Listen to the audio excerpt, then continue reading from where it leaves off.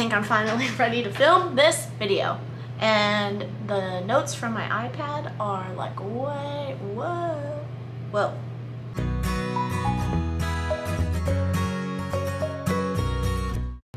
Hey guys, welcome back to my channel. If you don't know me already, my name is Sarah. I've lived with diabetes for 20 years, 22 years, over 20 years, yikes. Um, and this channel is just about my life with diabetes, so make sure you are subscribed, have your notifications on, and follow me on Instagram at the Diabetic Cactus. But anyway, enough with who I am. I wanted to make this video because it has been over a month now since I have gotten back on the pump on the Tandem. Let me pull it out of my trusty case. My Tandem T-Slim X2 with Control-IQ. What?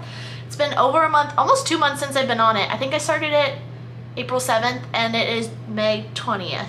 But this video is going up June, whatever the first Friday in June is. Uh, I don't know off the top of my head. Um, but I want to make this video and give you guys a little update on how things are going, what I'm thinking so far, my thoughts, my feelings, and yeah. So I wrote down a couple questions that I thought I would answer. Um, one, the first question is, how is it going with the pump overall? Overall, I'm finding it that I like it more than I thought I would. I thought I would kind of be like, oh, okay, it's a good change, but I miss pens. But there are a couple reasons I really like it. One is I can just reach down and give myself insulin by the click of a button, the touch of a touch screen, because this is a touch screen. Um, and I don't have to, you know, like search for my pen or do whatever.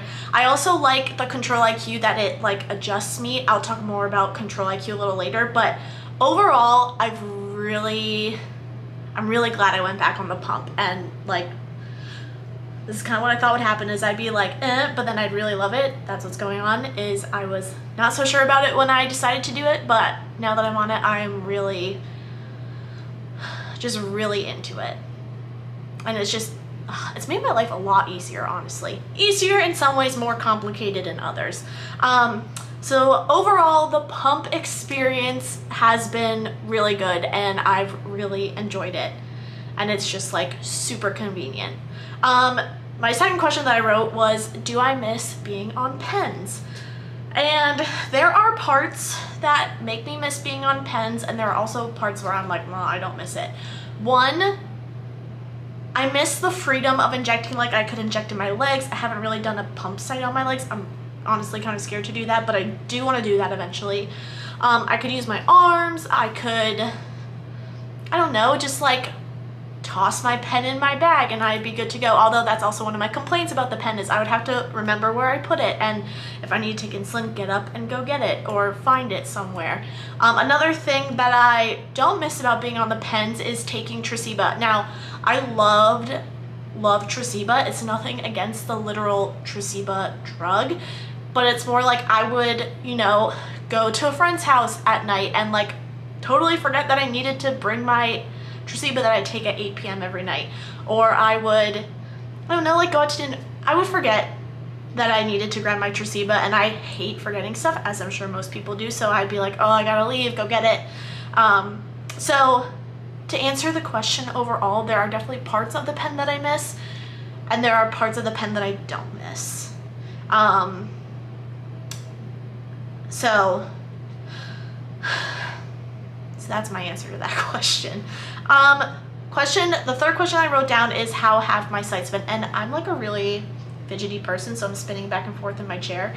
Um, so I'm sorry if that is annoying, but my third question is how have the sites been? So I was, whoa, computer's going off. I at the start of going back on a pump was really nervous about the sites because the last time I was on a pump was the Omnipod and those sites were terrible.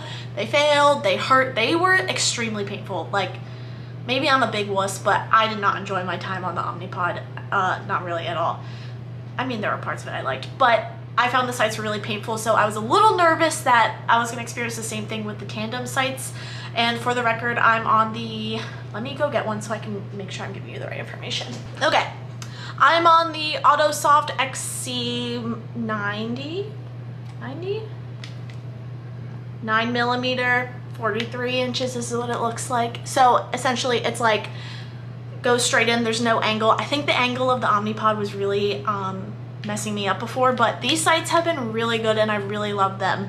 Um, I haven't had any problems. The only thing I've noticed is, whoa, I just slipped.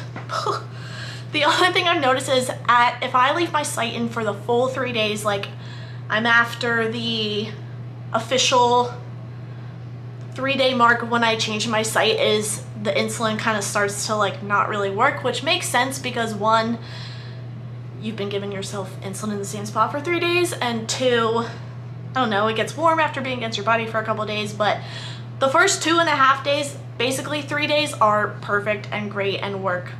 It works wonderfully, and I haven't had any kinked sites. I haven't had any. I had one problem, which was that I injected the site and then I pulled like this part away, the plastic part, and the whole site came with it. But I think that was my fault. I think I didn't give the alcohol enough time to dry so it didn't stick.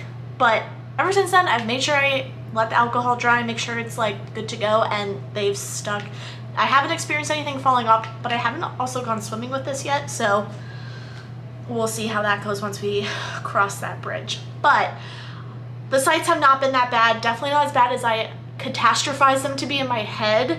Um, the site changes haven't been I don't think I've had a painful one. I've had some that have gotten a little sore after like a couple of days and I especially personally notice they get sore if I take a bunch of like big boluses like over 10 units which is like kind of normal for me so I try and break those up a little bit or if I am gonna eat a lot I'll do like a pretty big pre-bolus window like definitely 30 minutes which, oh, that's one thing to add to the pump is I have found pre-bolusing to be way easier. I don't know why.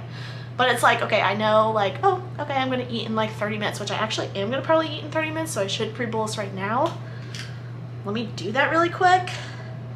And so I can just show you how freaking easy it is to take insulin. Um, although I can't really like show you, but you eating for lunch? Okay, I remember. So I'm gonna take 10 units for my lunch that I'm gonna eat in half an hour. So just boom, my lunch bolus is initiated. Now let me put my pump back in my thing so it doesn't fly all over the place. Um, what was I talking about? I totally lost my train of thought. Pre-bolusing, duh. Um, Pre-bolusing has been weirdly a lot easier on the pump. Like, I don't know why. I don't, it connects better in my brain to do it and the amount of time I don't know. I can't explain it, but it's been great.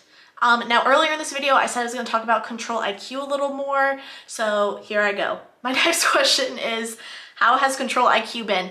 Control IQ has been really great. Um, the only time it hasn't been good is like when I drove to California, I might have mentioned this in that video, but I think instead of, like if I know I'm gonna spend a long time sitting, um, I should do a temp basal instead of let Control IQ do its thing because, but there was a bunch of things kind of working against me there. I think I had an old site. I was at, in the heat or something, I don't know. Control IQ didn't work that one time, but other than that, I only have positive things to say about it. The sleep mode has been great. The exercise mode has been wonderful. Um, the day that I'm filming this video, it is May 20th, I have a video coming out on using Control IQ while I hike. So I really love it for that. It's been great at like stopping my lows. I definitely, definitely see a difference in like how much I eat for a low. Like I used to just like stuff my face with candy, whatever, and then I'd be like bouncing all around my Dexcom graph, but I'm doing a lot better at that now. And I think a lot of that has to do with Control IQ suspending me and not, like I don't need as much food or as much sugar to bring me back up from a low. So that's been really great and I've really, really loved Control IQ. I really don't think it's ever failed me. I've never been like, oh, Control IQ is like not doing what I want it to do right now. It's been pretty consistent and the algorithm of it is like really, really great, which I did hear that before I started the pump was that a lot of people really love the Control IQ. And I was like, ugh, wait till it gets with me because I'm difficult. But no, it's been not a problem at all. It's been really great. My last question or just like topic I want to talk about is my settings. I know when I started my pump, I had said like I'm not sure about my settings because we're just kind of going in flying blind like we think this is what's right we'll see. So I have met with my endo since starting the pump and we made a couple of adjustments which have which have really helped. Um, they were able to see also like where I needed the adjustment. So again another reason I really like control IQ this is kind of going to the last question but I have figured my settings out a little more since then and speaking with my endo so like if you get on the pump make sure you talk to your endo about your settings. I did, because this is a new endo, I know how my last endo would have reacted to this, but because it was a new one, when I walked into the appointment, I said like, so what kind of doctor are you? Like, can I make my own changes? And like, you're cool with that? Or like, do you like to make the changes? Like, what's the vibe here? And he was like, no, as long as you're not making any like drastic changes and you kind of know what you, you're doing, which you seem like you do, like you can make whatever changes you want, just don't put like a million boluses on or a million basals on and you know like overwhelm it. I was like, no, totally cool. But the changes that he did make I actually really like and work really well and I have not touched them. I thought I was gonna have to mess with them, but they were good. So that's basically it. That's a very quick gist of like how the pump is going. Overall, again, I kind of started with overall, but overall I'm really liking it. I'm looking forward to using it over the summer. Um, and yeah, my only, actually, honestly, this isn't even a negative. I should have put this in my questions category, but the travel with the pump, yeah, hold on, I'm not done with this video. Yeah, I gotta talk about travel. The travel with the pump has been totally easy. Um, in a couple videos ago, you guys will have seen that I went, flew home for Mother's Day, and that was my first time traveling with the pump. It was no worries going through security.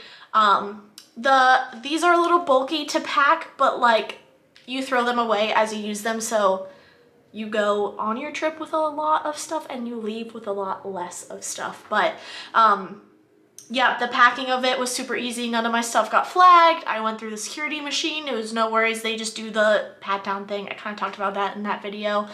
Um, and bolusing on the plane was also really easy. I didn't realize how much like I missed being able to just press a button and give myself insulin because like when I was flying home I'd be like oh I need some insulin. Let me just pull out my pump and like tap it in. And that was it. And it was great. When before I'd be like oh I gotta get my pen out and find it and like sanitize my hands and then like pull up my shirt inject it. People are gonna see me. I don't really care about that part but like people are gonna be like oh what's that girl doing? Um, but the pump is much more what's the word I'm looking for? Low-key hideable inconspicuous that's the word I'm looking for. I don't even know how to spell that word, but the pump is much more inconspicuous. It was a dream to travel with. Um, I took it with me. I went to Disney later in the trip that I filmed one of my last videos on, and it was great there. No one questioned me about anything. And yeah, so travel has been good with it. Um, but I am going on some more trips, so we will see if the travel continues to go well. I assume it will, but you never know. That's basically it for this video. I know this is kind of long and kind of a chatty video. I feel like my next couple videos are going to be a little chatty, like sit down videos like this, but we've done a couple of what feels like adventure videos, so it's time for some sit down ones. Anyway, I hope you guys enjoyed this video. Let me know in the comments what kind of videos you want to see. I always love to hear your feedback and what you think. So um, if that's everything, which I think it is, don't forget to like and subscribe and follow me on Instagram and I will see you guys in my next video. Goodbye!